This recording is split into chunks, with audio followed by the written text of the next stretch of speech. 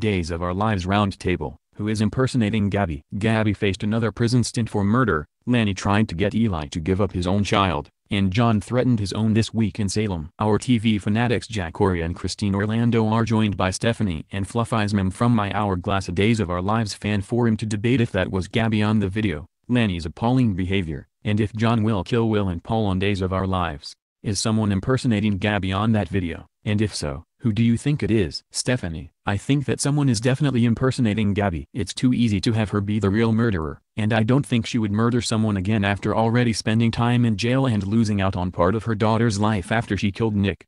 As for who the impersonator might be, my guess is that it's someone Vivian and Stefan hired. They've already tried to make Anna look guilty, and now that she is in the clear, they need to provide another distraction. Jack, that looked like an obvious setup to me, plus the cops in Salem never get it right until at least the third try. With Chad laughing at the idea of it being Abby I have to assume she's the killer. Fluff Fluffizmem. Someone is clearly impersonating Gabi but I'm not sure who. The person we saw in the video didn't look like Gabi. It could have been Vivian, Kate, or maybe a mentally ill Abby. Christine, it's certainly not Gabi. Anyone, besides the Salem PD, could tell it wasn't Gabi on that video. My two top choices are Vivian, or Abigail who may have had another mental breakdown when she learned that Andre betrayed her. Which is more appalling, that Lani continues to lie to JJ, or that she told Eli that JJ would make a better father than he would to his own child.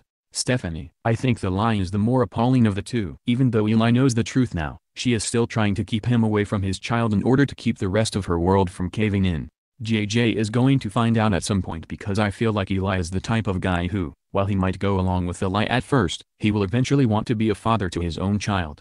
Lani is just prolonging the inevitable, and the longer she does, the worse it's going to be for JJ when he finally finds out. Jack, Lani is selfish, period. She's using JJ's suicide attempt as an excuse to manipulate him into staying with her and doesn't care that her actions could cause him to have a setback in his mental health. Asking Eli to keep his mouth shut is stupid but at least she's not using his mental illness against him like she is with JJ. Fluffizmem. They are both appalling but I could hardly believe Lani having the audacity to tell Eli that everyone would be better off if JJ is the baby's father. Lani is the only one who is better off if this lie continues. Christine, Lani has turned into an absolutely horrible human being. She's using JJ's suicide attempt to make it appear as though she's protecting him, while trying to emotionally blackmail Eli into giving up his own child. I'm appalled by every word that comes out of her mouth. Was Valerie wrong to confront Lani about the paternity of her pregnancy? Stephanie, if Valerie hadn't confronted her, I don't think Lani ever would have told the truth. While it was wrong for Val to look at Lani's medical records, she is the type of person Lani needs in this situation. Valerie has the unique perspective of having been in Lani's situation before, so her words about the consequences of lying definitely hold more weight than those of Lani's other friends and acquaintances.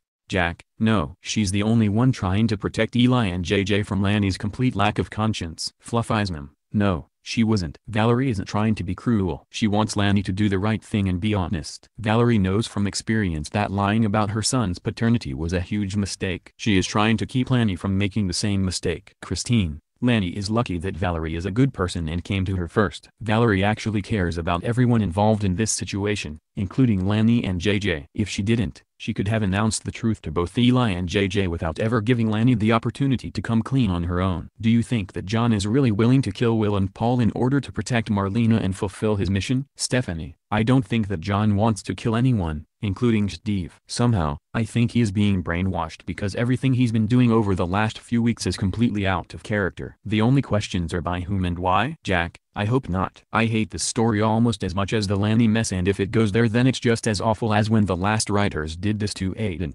Fluffizmem, I don't think so. There has to be more to this. He wouldn't kill his own son and Marlena's grandson for a mission. I thought the reason he agreed to go along with the mission was because his family was being threatened. Christine, I keep waiting for something that makes this storyline make sense, but as of yet it hasn't happened. I hope it does soon, or as Jack pointed out, this could turn into another Aiden debacle. Would you like to see Trip paired with Claire, Ciara, or someone else entirely? Stephanie, I think it might be fun to see Ciara and Trip paired together. They both love people who don't love them back, and both of them are a bit rough around the edges. It would certainly be a welcome change from watching Ciara ranting and raving over Theo not loving her and fighting with Claire about it every time they're in a scene together.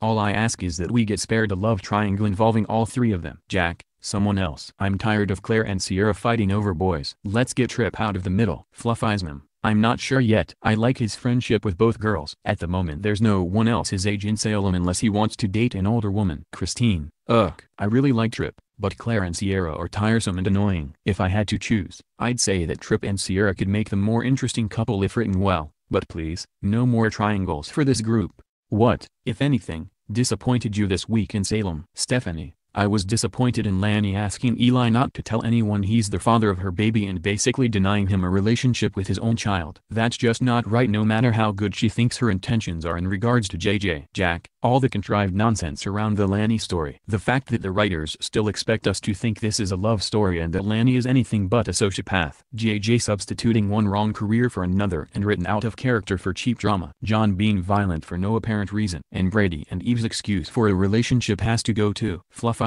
the John and Steve ISA poisoning story. Christine, John poisoning his best friend, and threatening his son and step-grandson for some ISA mission. It's a horrible story and I can't wait until it's over. Also, Rafe seemed more concerned about covering his butt than the fact that his sister was about to be charged with murder. And let's not forget Chad and Abigail being so boring that they almost put me to sleep. What was your favorite quote, scene or storyline on this week's Days of Our Lives? Stephanie, I like the fact that several truths finally came out this week. We finally know how Tony Zern wound up at Andre's office and what Anna was doing there.